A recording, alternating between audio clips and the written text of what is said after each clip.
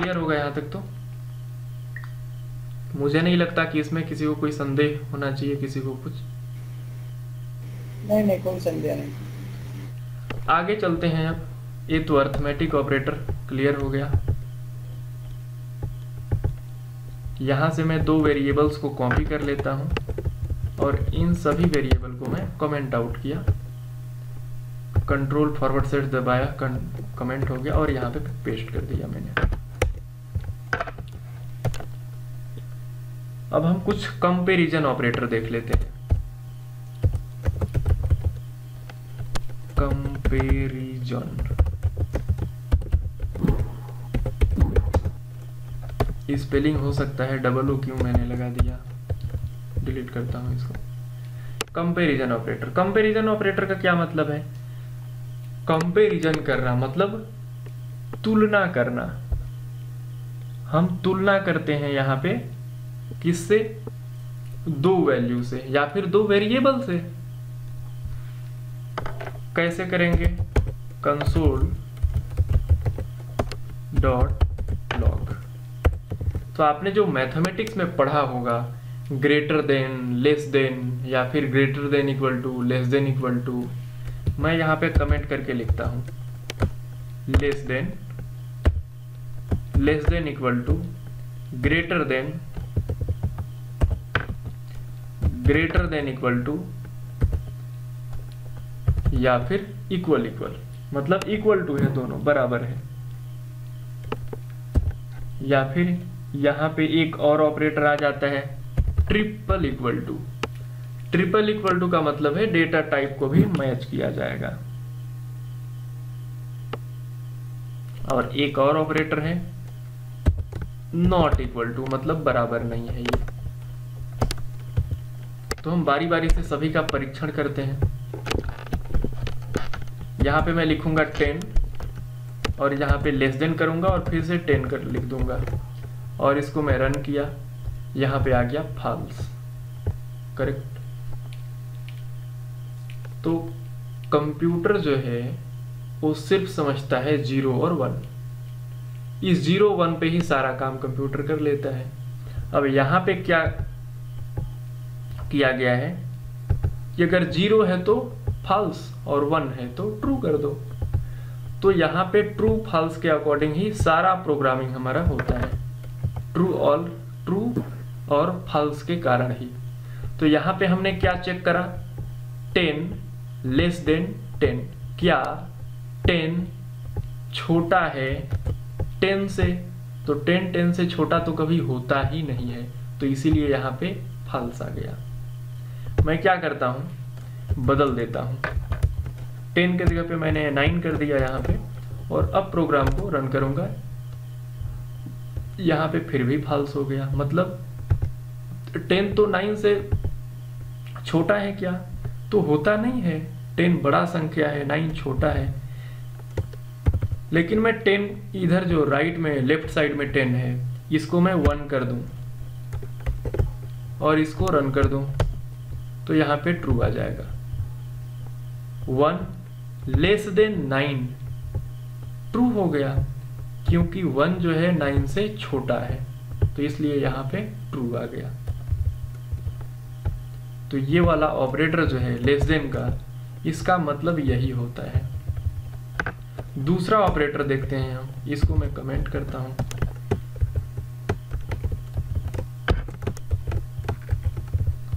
इसके बाद है less than equal to ten करूँगा less than equal to ten इसका मतलब क्या है? मैं प्रोग्राम को रन कर देता हूँ तो यहाँ पे आ जाएगा ट्रू तो ऊपर में तो फल्स आ जा रहा था तो वहाँ पे सिर्फ़ लेस देन का साइन था, और यहाँ पे इक्वल टू का भी साइन है.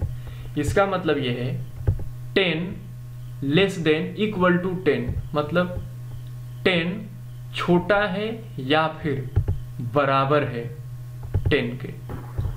तो टेन टेन से छोटा तो कभी नहीं होता, परंतु बराबर ज़रूर होता है। तो इसलिए यहाँ पे आंसर हमारा ट्रू आ गया। तो ten less than equal to ten, ये ट्रू हो गया। अब इसको मैं यहाँ पे नाइन कर देता हूँ। नाइन करने के बाद फल्स आ गया। टेन जो है नहीं छोटा है नहीं बराबर है, नाइन से। इसीलिए यहाँ पे ये फल्स आ गया। इसको मैं और छोटा कर दूँ। Five less than equal to ten. तो टेन के बराबर नहीं है ये फाइव, लेकिन छोटा ज़रूर है, इसलिए ट्रू आ गया। अगला ऑपरेटर देख लें। अगला ऑपरेटर देख लेते हैं। अगला ऑपरेटर क्या है? यहाँ पे मैंने कॉमा देना भूल गया।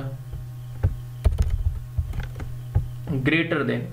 तो यहाँ मैं टेन लिखता हूँ, ग्रेटर देन नाइन करता हूँ। टेन ग्रेटर देन नाइन तो इसका ट्रू आ जाना चाहिए तो ट्रू यहाँ पे आ गया। क्यों? क्योंकि टेन ग्रेटर है नाइन से, टेन बड़ा है नौ से, नाइन से, इसलिए ट्रू आ गया। इसको मैं नाइन के जगह पे नाइनटी कर दिया। तो अब रिज़ल्ट क्या आएगा? अब फॉल्स आ जाएगा। टेन ग्रेटर देन नाइनटी ये तो रॉन्ग है फाल्स है, इसलिए फॉल्स आ गया। अगला देखते हैं। इसको मैंने करा ग्रेटर देन अब यहाँ पे क्या पूछ रहा है? Five greater than equal to ten तो ये तो फॉल्स है। तो यहाँ पे आउटपुट फॉल्स ही आने वाला है। परंतु मैं इसको 50 कर दूँ 50 कर दूँ 50 ग्रेटर देन 10 तो ये तो ट्रू होगा। क्यों भाई? फॉल्स क्यों हो गया? 50 मैंने सेव नहीं करा। सेव कर देता हूँ मैं। तो यहाँ पे ट्रू हो गया। 50 जो है बड़ा है 10 से तो ये आ गया। इसके बाद कौन सा ऑपरेटर है? इक्वल टू का ऑपरेटर है। मैं इसी को पेस्ट करता हूँ। यहाँ पे फाइव इक्वल इक्वल फाइव करता हूँ। और इसको मैं रन कर दूँ तो यहाँ पे ट्रू आ जाएगा। क्यों? फाइव इक्वल फाइव तो डबल इक्वल टू का मतलब ये है कि ये बता दोनों में तुलना कर रहा है कि क्या बराबर है? बराबर है तो ट्रू आ जाएगा। बराबर नहीं है तो फॉल्स आ जाएगा। मैं 50 कर दिया इसको।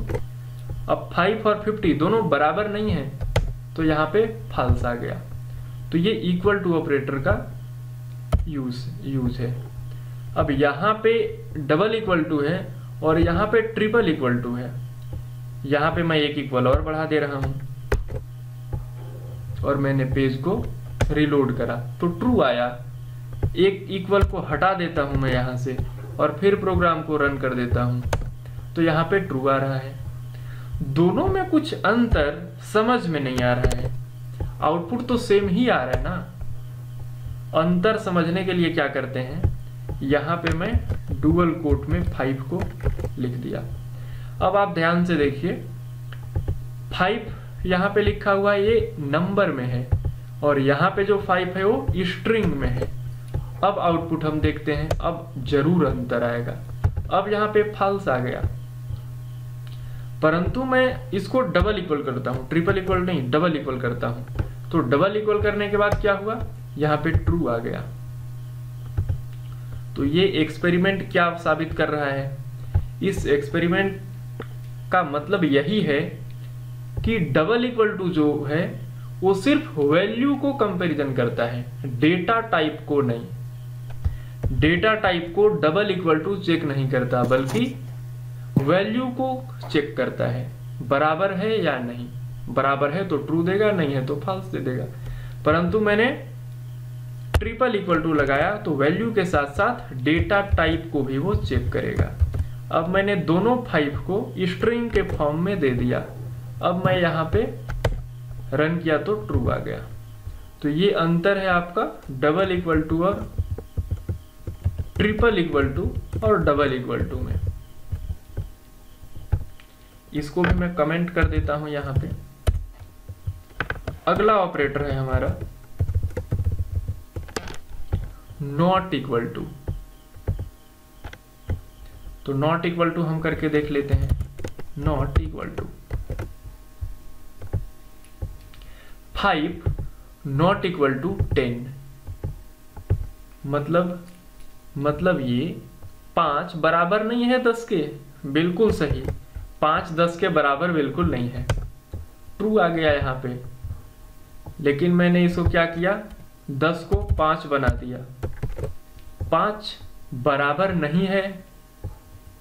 पाँच के, ये तो फाल्स है। पाँच पाँच के बराबर होता है। तो यहाँ पे आउटपुट फाल्स आ जाएगा।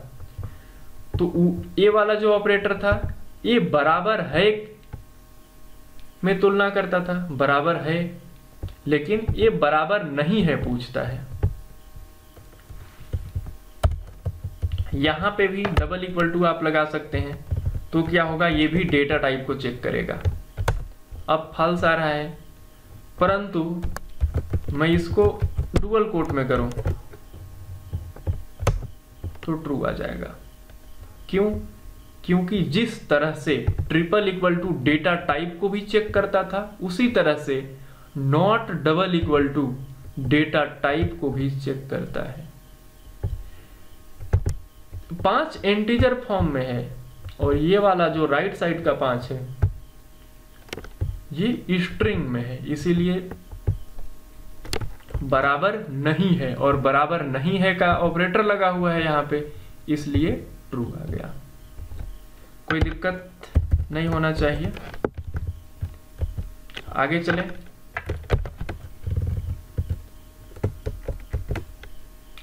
तो यहाँ पे हमारा कंपैरिजन ऑपरेटर जो था, वो इंड हो गया। कंपैरिजन ऑपरेटर के बाद हम असाइनमेंट ऑपरेटर देख लेते हैं। असाइनमेंट ऑपरेटर क्या करता है? वैल्यू को असाइन करता है। मैं लिख देता हूँ। Assignment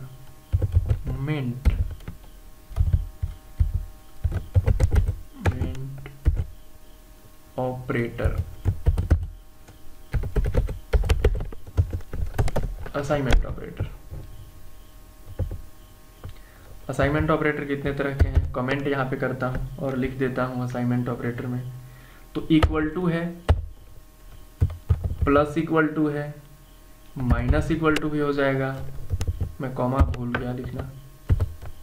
फिर मल्टीप्लाई के साथ भी इक्वल टू है, फिर डिवाइड के साथ भी इक्वल टू है, फिर मॉडुलस ऑपरेटर भी एक होता था ना, मैं भूल गया बताना उस समय पे जो है, यहाँ पे बताना। सेम आप क्या करेंगे? यहाँ पे मॉड लिख देंगे आप परसेंट का साइन तो ये मॉड ऑपरेटर हो जाएगा। इसको आप प्रैक्टिस करके देखिएगा। ये मॉडुलस ऑपरेटर है। ये क्या करता है? ये शेषफल बताता है। शेषफल को मॉडुलस करेगा रिमाइंडर जो बचेगा, वही रिटर्न कर देगा। हिंदी में बोले तो शेषफल हो गया। तो यहाँ पे भी वैसे रिमाइंडर है।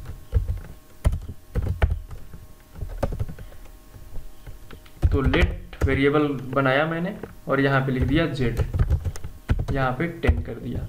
तो ये वाला जो इक्वल टू का असाइनमेंट ऑपरेटर है, ये क्या करता है? इसका काम सिर्फ़ इतना है कि राइट साइड में जो भी वैल्यू है, उसको लेफ़्ट साइड में शिफ्ट कर देगा। राइट साइड का जो भी वैल्यू होगा, उसको लेफ़्ट साइड में असाइन कर देगा। राइट साइड का वैल्यू को लेफ़्ट साइड में दे देगा। सिर्फ़ यही काम है इसका। तो ये असाइनमेंट ऑपरेटर है। यहाँ पे एक और असाइनमेंट ऑपरेटर है, प्लस इक्वल टू। तो मैं लेट लिखता हूँ यहाँ पे और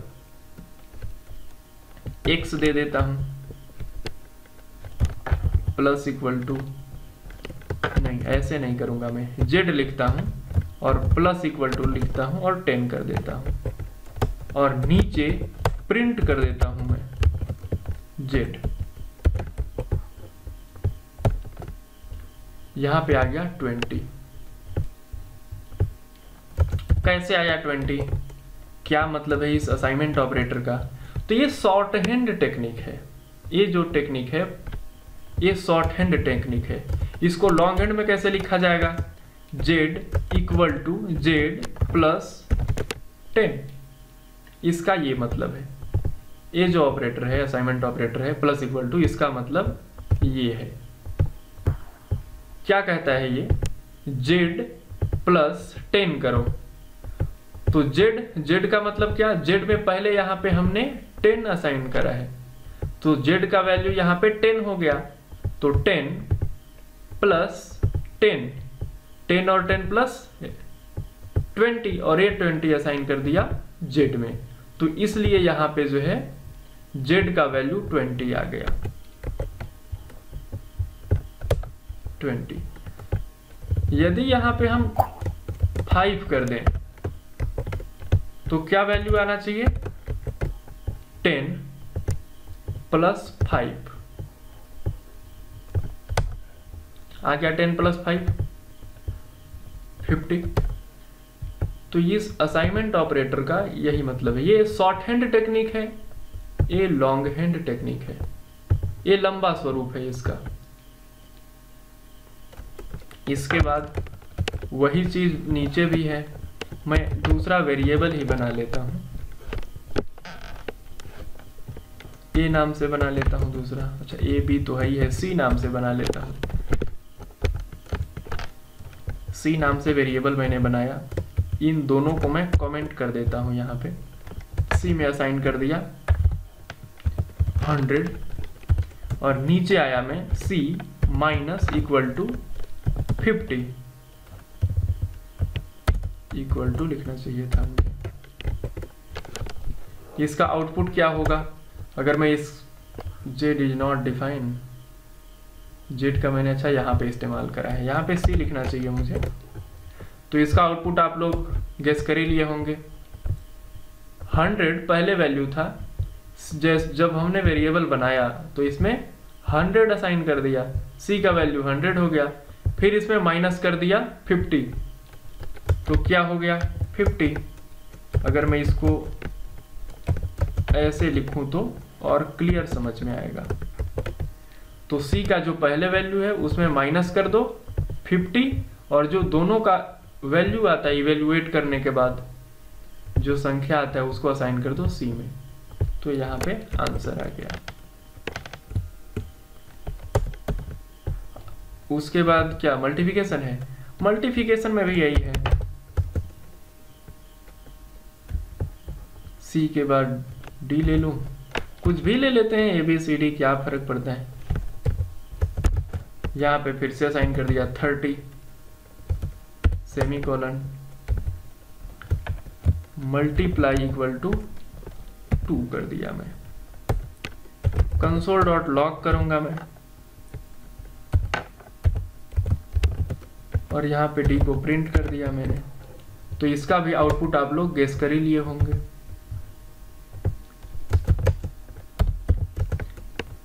डी में असाइन कर दो डी मल्टीप्लाई टू तीस दुना साठ हो गया तो इसका रिज़ल्ट साठ आ गया यहाँ पे।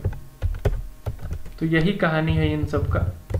मैं इन सबको भी कमेंट कर देता हूँ ताकि कंसोल में ना दिखाई दे। जो मैंने कमेंट किया है, आप उसको इग्नोर कर दें।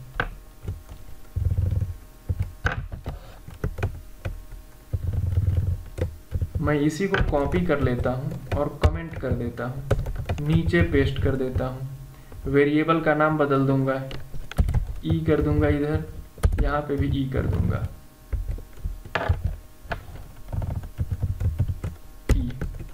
Multiplication e। हमने देखा, हम डिवाइड का देखते हैं। डिवाइड कर दिया मैंने। यहाँ पे भी डिवाइड कर दिया। तो आप गेस कर लिए होंगे। थर्टी थर्टी को डिवाइड कर दो टू से। आंसर जो आएगा उसको असाइन कर दो। तो आप जानते हैं कि क्या इसका आंसर आने वाला है। प्रिंट कर दिया। डी यहाँ पे क्यों मैंने प्रिंट करा ई करना चाहिए मुझे प्रिंट। फिफ्टीन पंद्रह दूना तीस हो गया ये। इसके बाद एक ठो बचता है रिमाइंडर इसको भी देख ही लेते हैं। मैंने नीचे फिर से पेस्ट कर दिया। इसको मैं कमेंट आउट कर देता हूँ। इफ़ नाम से एक वेरिएबल बना लेता हूँ मैं। इफ़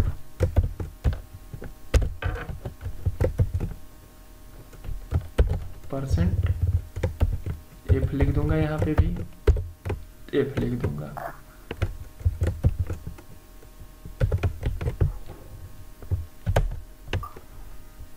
ये तो ज़ीरो आ गया यहाँ पे। ज़ीरो क्यों आ गया? क्योंकि पूरा पूरा डिवाइड हो गया। पूरा पूरा डिवाइड हो गया। तो जब पूरा डिवाइड हो गया तो रिमाइंडर बचा नहीं, इसलिए ज़ीरो आ गया। तो मुझे उम्मीद है यहाँ तक क्लियर होगा आप सभी लोगों को। और अगला चैप्टर हम लोग कल कर लेते हैं अब।